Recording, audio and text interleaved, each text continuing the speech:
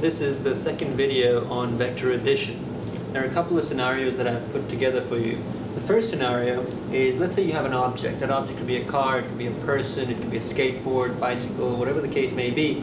And in this case, I'm just representing that object by a dot.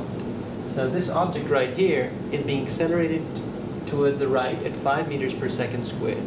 And at the same time, it's being accelerated up at 3 meters per second squared. Now remember, acceleration, just like velocity, force, displacement, is a vector because not only does it have a magnitude, not only does it have a measurement, but it also has a direction.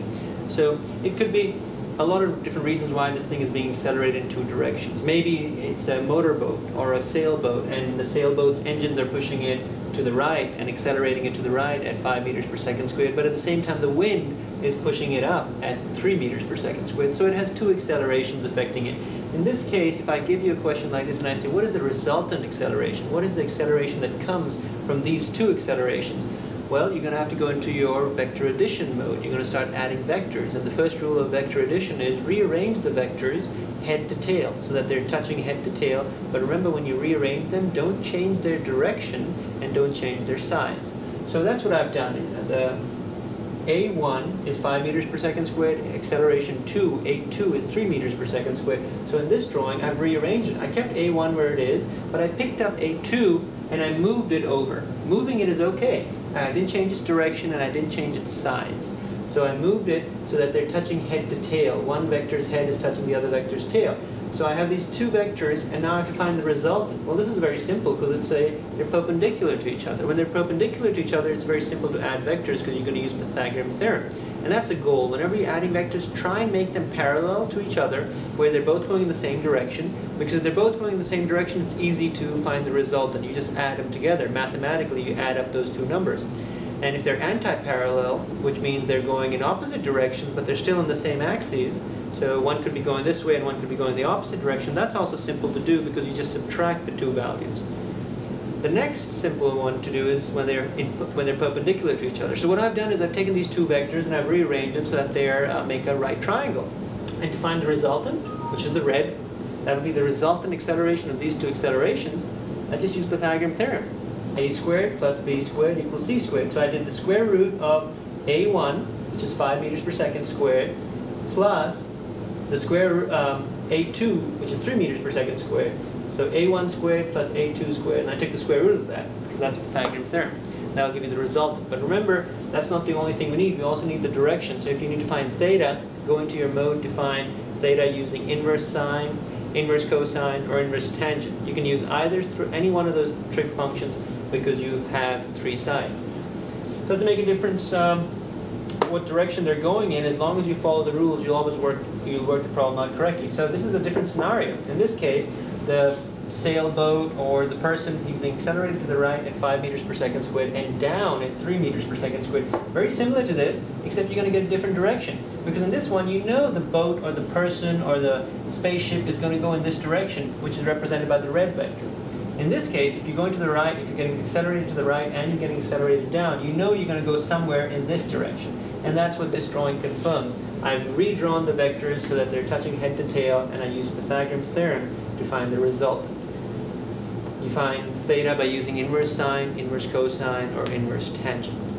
Okay. Finally, here's a tougher one. What if I have two vectors? So let's say it's the same sailboat or the person, whatever the case may be and it's being accelerated up at 3 meters per second squared, but then it's also being accelerated in an at, at, an angle theta at 5 meters per second squared. So these two are not perpendicular to each other. This angle could be 30 degrees, could be 45 degrees, 60 degrees, whatever the case may be. I'm not going to put a number in there because I'll just leave the variable. We can put the numbers in later. So in this particular scenario, this object still has two accelerations on it. It's being accelerated in two directions, just like the first two scenarios, except the difference is these two directions are not perpendicular to each other. One is pointing up, the other is pointing at an angle theta. So how do you add these two vectors? Well, the simplest thing to do is you break down these vectors into their x and y components. And what does that mean? That means this. You take this vector, and you break it up into its x component. Let's call it a1x. Because this is a1, let's call its x component a1x. And then you break it up into its y component, let's call it a1y. Now, that's easy to do. Why is it easy to do? Because once again, I built myself a right triangle. So it's very similar to this scenario. For example, if you were to look at the red vector and say, what are the x and y components of the red vector, and work backwards, then this is the x component of this guy, and this is the y component of this guy. It's the x component because it's pointing, it's on the x-axis, and this is the y component because it's on the y-axis. So if you were to work backwards, say, look, this vector came from these two, that's correct. This is the x component, this is the y component that derived the hypotenuse, hypotenuse side. So in this particular scenario, that's what we're going to do. We're going to take A1 and we're going to break it up into its x component and into its y component. Well, if you know what the hypotenuse side is, let's say this is 5 meters per second squared, and I give you the angle, let's say I give you the angles to be 30 degrees, 40 degrees, 45, 50, whatever the case is, if you know the hypotenuse and you know the angle, you can use cosine theta to find the adjacent side. And you can use sine theta to find the opposite side. So I'm going to let you do the math over there because that's a simple part. I just want to go through the process with you. So if you find the adjacent and you find the opposite sides, you have found the two vectors that make up this guy. Now if you found the two vectors that make up this guy, your drawing can be simplified. It can be simplified because then you just have to focus on these two green vectors and this vector. Because you'll notice that these two guys are pointing in the same direction. And this is perpendicular to these two. So we ignore this guy. Now that we've found his x and y components, his x component and his y component, we can kind of like, we can ignore this vector because we were working with the x and y components and we just use the x and y components because the x and y components are perpendicular to each other. So if I were to redraw this, it would look something like this. The x component would be drawn a1x, and the y side would be the y component plus this is going in the same direction as this. If they were going in opposite directions, you'd subtract them. But because they're going in the same direction, you'd mathematically add them onto each other.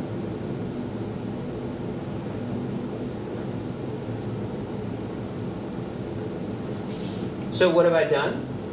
I've built myself vectors that are perpendicular to, each other, very similar to this scenario, very similar to this scenario.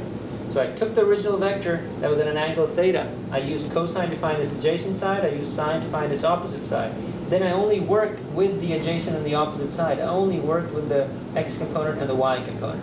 So the x component, this is the only guy, only vector that's on the x-axis, so it goes down here. On the y-axis, there are two vectors. So they're both pointing in the same direction, so you can mathematically, whatever number you get for this, you can mathematically add it to this guy, and you'll know what the length of this side is. Now that you have something that's perpendicular, you're going to use Pythagorean theorem. And that's how you're going to find the resultant acceleration. And let's label the resultant acceleration A subscript r.